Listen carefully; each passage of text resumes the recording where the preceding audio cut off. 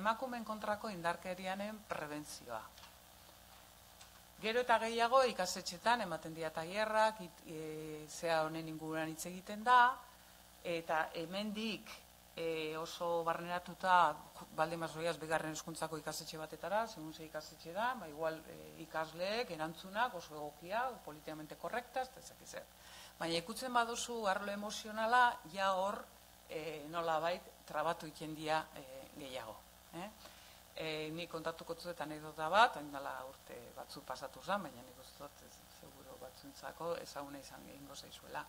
E, tai, olako tailer batean, e, ba, gaina da ikasetxe bat, ba, trajektoria handia daukala, eskidetza lantzen, eta zegizu, errodan, jo, zaten ginen, eta ke gozada, ez, hauekin, ba, dana dakite, ze ondo erantzuten dute, Eta holako egin genuen holako tailer bat, nu mugitu egiten zian hau emozioak, eta zan, ba, kuadrilla batean ematen bazan holako eraso bat, e, bikote bat egoen kuadrillan, eta bien arteko, bueno, e, da laguna neska, esan ez, e, bikote heterosexuala ez dut aipatu, baina, bueno, emakume e, torten da neska, eta, eta e, zalatzen, beste lagun bati, beste lagun min bati esaten dio, ba, oso zeloskor jarri dela mutila eta join duela. Ez?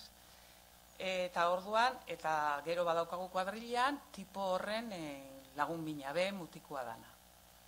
Orduan, bueno, rolak banatzen ditugu, eta, bueno, zu zer ingo zenioke zure lagun horri laguntzeko, hola planteatuta, Osea, neska bere neska lagunari laguntzeko, eta mutilak erasotu duena horri laguntzeko. Eta bapateko erantzuna, mutilena, izan zan, ni nire laguna ez do tradizionatuko. Ez? Eta, bueno, aurreko guztia saioan izan zan, bueno, ba, ba, konzeptu guztia baneratuta, baina, ostras, nes orduan, e,